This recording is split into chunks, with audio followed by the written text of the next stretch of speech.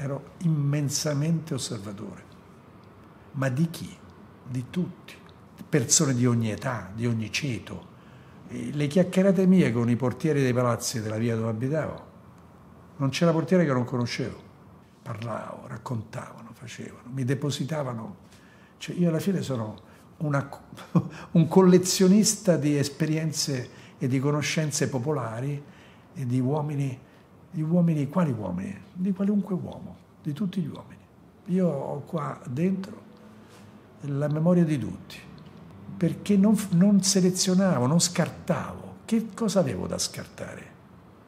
Io ho imparato quando ero piccolino, a 11-12 anni, a non ascoltare, ecco, 11-12 anni, più o meno quell'età lì, non ascoltare, non occuparmi molto dei violenti perché la violenza mi interessa per, per alcuni aspetti, ma certamente il, violen- il violento, io col violento non mi relaziono, lo osservo, imparo, ma non mi relaziono. Mi tengo a distanza da persone che hanno quelle, quelle caratteristiche, da sempre.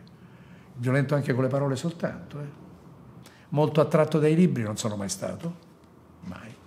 Più attratto dal racconto dalle vite degli uomini e poco dai libri io credo che, le scuole del futuro dovranno essere tutte scuole di scambio, tutte scuole di esperienza, tutte scuole di lettura, tutte scuole di, di condivisione, tutte scuole di, di, capire, vedere, osservare, imparare l'uno dall'altro tutto, capisci?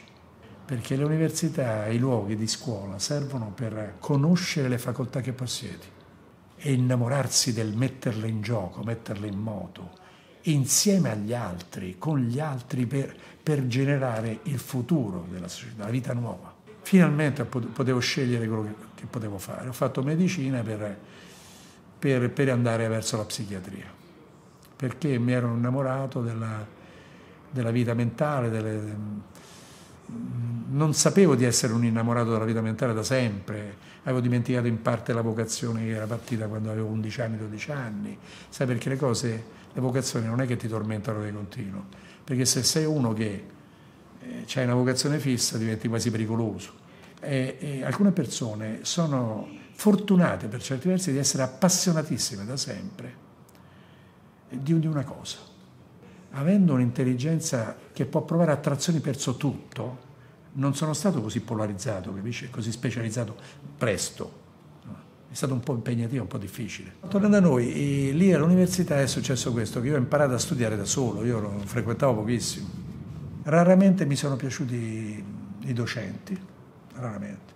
Come alla scuola si è ripetuto anche all'università. Non mi piace la gente che ripete se stesso. E la gallina in sull'uscio che ripete il suo verso, Leopardi, il sabato del villaggio.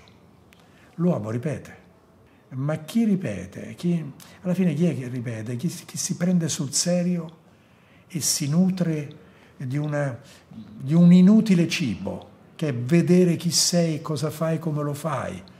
Cioè è la, è la rovina della vita di una persona. E io assistere a queste decadenze, a queste rovine, anche no, oggi si usa dire questa espressione mi piace, anche no, no, meglio aggiungere un altro no, un altro no, no, no. I, I, docenti universitari che ho conosciuto erano per lo più ripetitivi, per lo più disinteressati totalmente dall'insegnare, detto fra noi. Si mettono lì alla lavagna, c'è così, quattro diapositive, manco te guardano in faccia, ti salutano a stento. Ma dove ci troviamo? Poi c'era il solito, ogni docente aveva i suoi cocchi, era ridicolo. All'università è tutta così.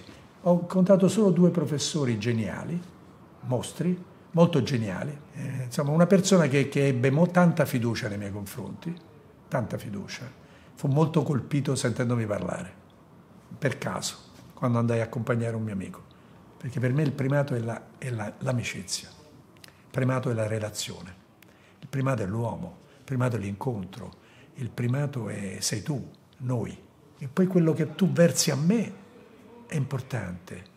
Una volta dissero una cosa di Aristotele Onassis, Tizio dice che aveva una proprietà, una caratteristica di far sentire importantissimo chiunque stava a dialogo con lui, come se non esistesse niente del resto del mondo. E in un qualche modo accadeva pure a me. Io se parlo con te non c'è il resto, sparisce. Fino a un certo punto perché vedo, sono presente, ho la mindfulness. Così. E insomma, per farla breve, lunga vita solitaria con disagi, gli unici disagi quali erano? Erano questa paura che è arrivata dentro di me, è arrivata una paura del futuro. La paura è arrivata vedendo come funzionava il mondo. Ho capito che mondo, nel mondo non si faceva sconti e che tutti erano pronti per una loro convenienza a usare qualsiasi mezzo, qualsiasi strumento.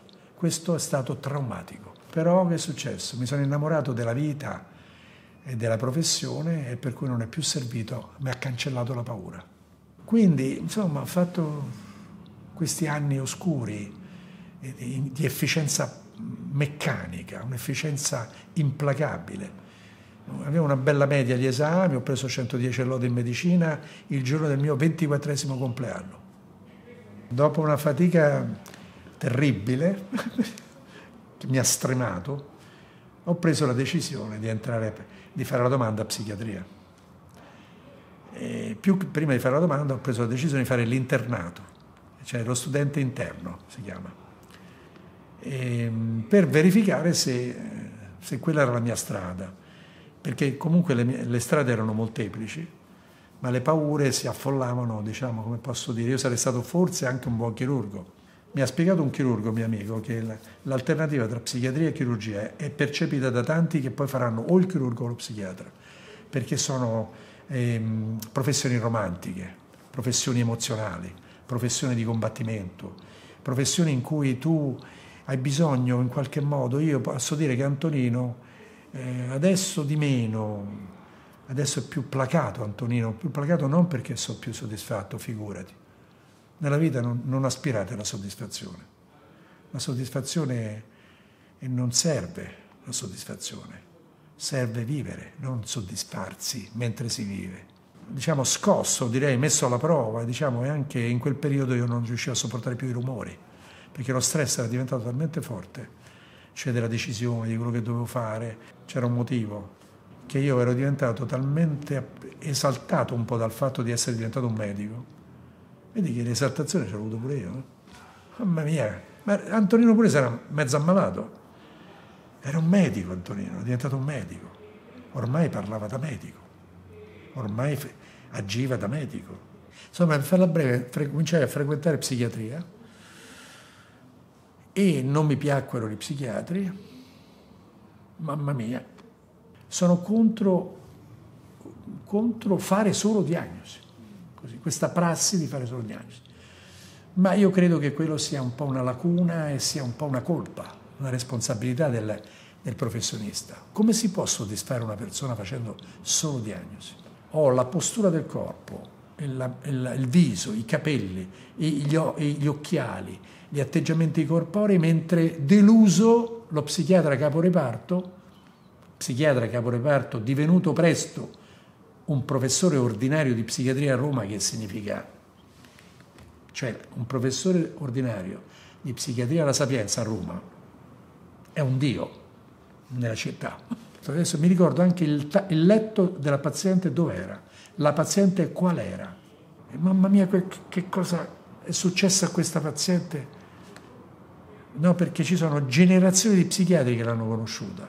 E io poi ho visto questa paziente diventata anziana addirittura e ho visto l'aggressività mascherata male, nemmeno troppo ben mascherata verso la paziente, di uno psichiatra che si attendeva dai suoi farmaci di vedere trasformazioni che, che non avvenivano. Non avveniva nessuna trasformazione hanno provato di tutto. Io ricordo tutti i farmaci che sono stati dati a questa paziente. È una paziente che, non, non usiamo nomi di patologie, ma di quelle pazienti che possono ingoiare quantità di, e dosaggi di farmaci di ogni tipo, compresi gli antipsicotici, quindi i tranquillanti maggiori, i grandi sedativi, senza alcun effetto, perché sono cervelli cervelli, proprio cervelli inteso organo, che sono talmente potenti che, che resisterebbero anche all'anestesia. Non so se per darvi un'idea di quanto sono potenti. Cioè, poi tutti cedono, eh, insomma. Però se bevuta questi farmaci non gli ha fatto niente. Quelli che fa questo? Mi ha chiamato come se fossi, so, una, un rettore di un collegio, capito? Mi ha chiamato così da parte questo caporeparto, mi ha detto, erotizzavo il rapporto secondo lui. Ho detto, ma tu mi ci chiami pure da parte? Perché mi ha visto più volte a parlarci da solo, io non lo so, poi non sapevo fare niente, io tendevo la mano, eh, tenevo la mano della paziente. E sai, forse tenere la mano va bene, forse non si deve fare, ma io poi dopo è una cosa che è avvenuta sempre meno perché ho cominciato pian piano a imparare qualcosa e a, e a far sentire la vicinanza in un altro modo. Eh, forse quella mano lì faceva più dei farmaci a lei in quel momento, tant'è vero che volle diventare paziente mia privata Pensa io, specializzando, volle venire in cura da uno che era all'inizio, alle prime armi, non sapevo fare quasi niente.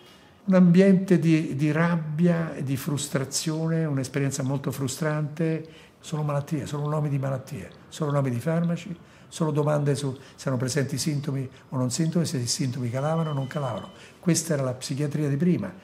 Non mi piaceva il modo in cui si, si lavorava, così non mi piaceva, ma io non avevo un modo mio da proporre che ne sapevo? Niente. E mi laureai, il professore al giorno della tesi mi disse, il professore di ordinario, no? simpatico, disse, in questa tesi io non l'ho capita Tamburello, mi ha fatto prima di, eh, di Senti, prima di, che io la esponessi, no? perché era una tecnica per, per farmi de- dire da me in tre parole eh, qualcosa che potesse servire a lui a presentarmi, perché non l'aveva proprio letta, cioè così, non che non l'aveva capita, non l'aveva letta. A un certo punto gli ho detto, eh, detto, ma non ho capito nemmeno io, gli ho risposto. E quello si è messo a fare, ha fatto una risata.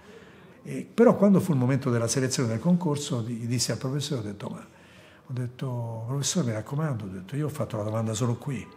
Quello mi rispose così, Tamburello hai fatto bene a dirmelo e si annotò una cosa sul foglio. E poi passai, entrai. Io quando lavoravo all'ospedale psichiatrico, la psichiatria che prevaleva era una psichiatria di oggettivazione, di obiettivazione psichiatrica, di diagnosi psichiatrica e di tentativo, per carità legittimo, di poter scegliere il farmaco più adatto per la persona. Quindi il tentativo era sano. Quindi se trovavano una psicosi, quindi produttiva cosiddetta, con molti, molti sintomi attivi, perché sono i sintomi negativi e i sintomi positivi i positivi sono delirio, allucinazioni, non so, capite? Insomma, tante, tante belle cose. Okay? Loro che fa? Loro avrebbero, andavano a cercare un farmaco per, adatto per combattere i sintomi positivi. Quali sono questi? I grandi tranquillanti, tranquillanti superiori, maggiori, sedativi, potente azione sedativa. Rallentano positivamente, attenzione, eh? guardate che il rallentamento è una cura comunque, sia del corpo che della mente, il rallentamento. Allora poi trovavano un altro che aveva sintomi depressivi, che il farmaco che doveva essere un farmaco antidepressivo. Diciamo, non possiamo dire niente, ha una sua perfezione, continua ad avere l'approccio psichiatrico tradizionale che poi ha fatto tanta evoluzione perché le molecole, l'industria. Mancava che, che, che poi c'era io non dovevo usare solo il farmaco per curare, ma dovevo arrivare a capire di più. Io all'epoca non sapevo come si capiva di più, ma dovevo arrivare a capire di più e qualcosa che portava questa persona ad essere, chiamiamolo così, tra virgolette, sconvolta, travolta, ad essere turbata molto profondamente in un modo troppo duraturo. Certo, dove andavano male i farmaci? quando il quadro era più marezzato, potremmo dire, melange. Allora lì ti devi armare di una pazienza da biologo, capisci? Allora arrivo là e va bene.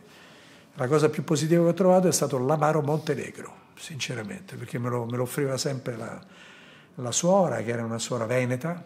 Io sono arrivato, sono, ho passato, questo lo dobbiamo mettere nella storia 18 mesi senza scrivere una riga di commento nel libro del diario, capisci, di, del reparto. Diario del reparto, un libro grosso così.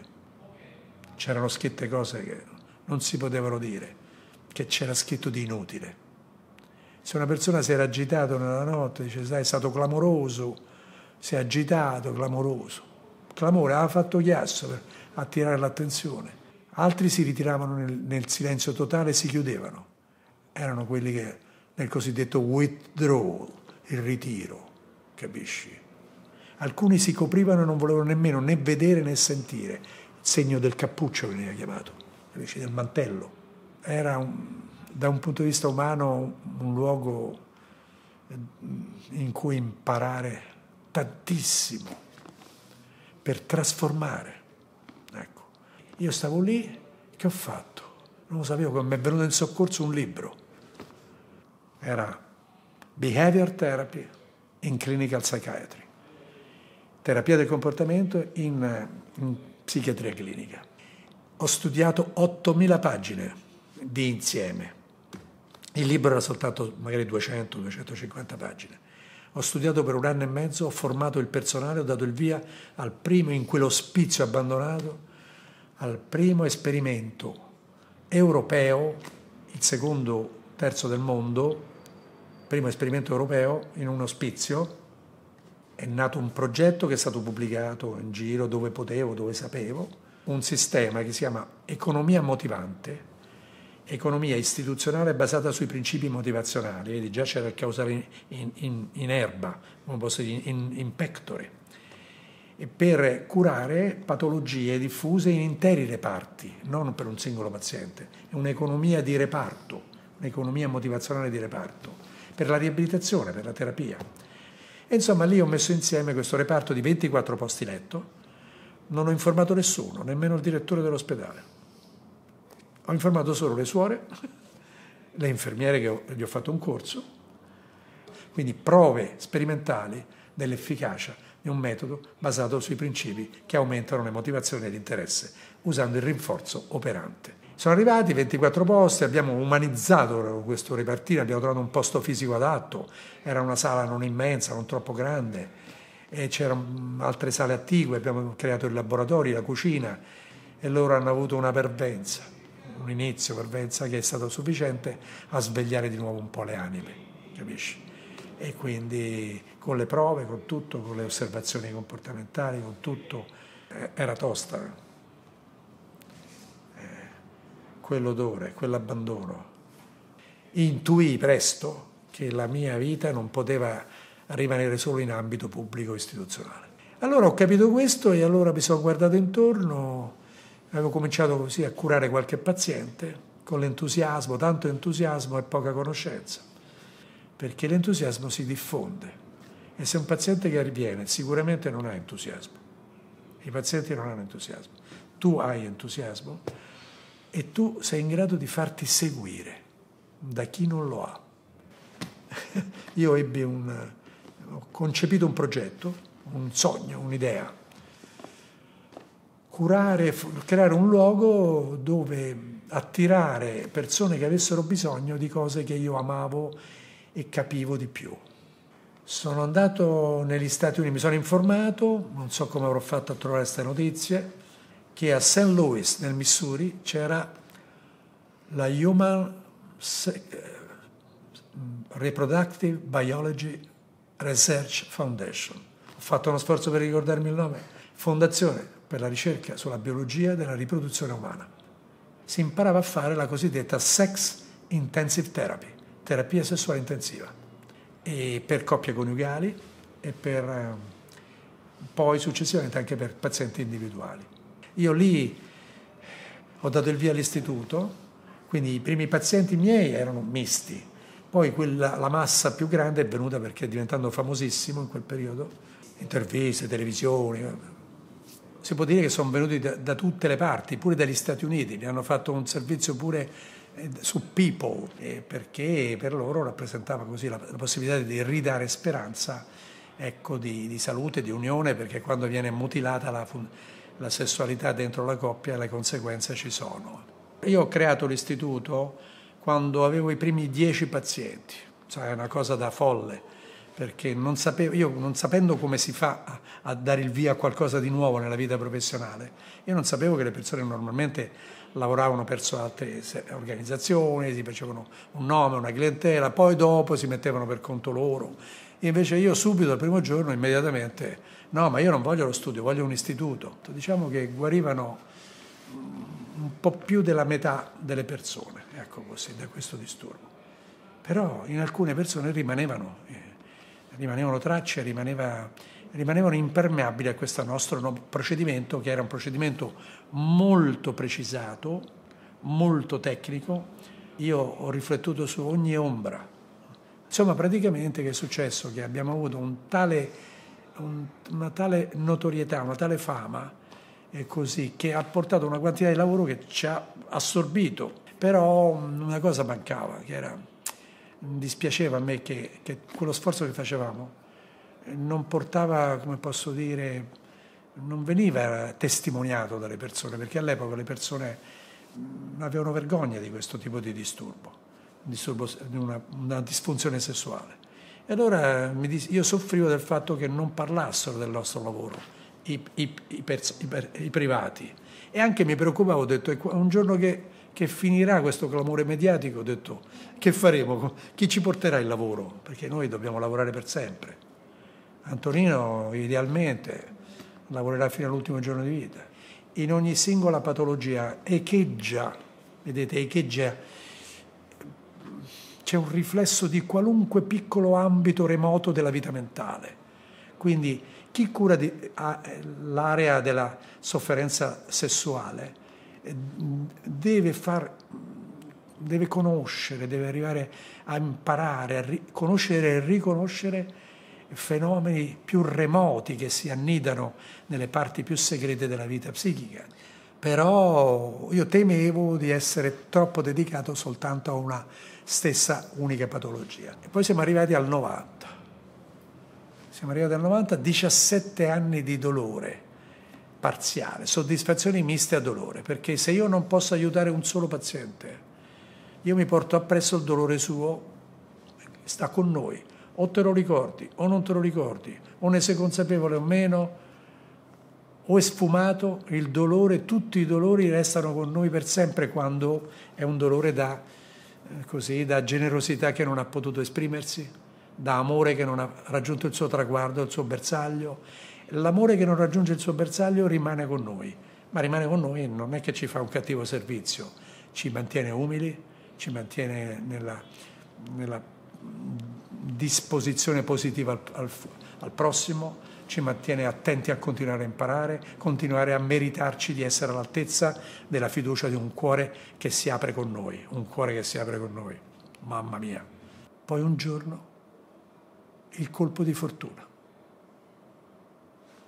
Quando ormai si può, si può dire era il momento del, in cui le speranze erano proprio infrante.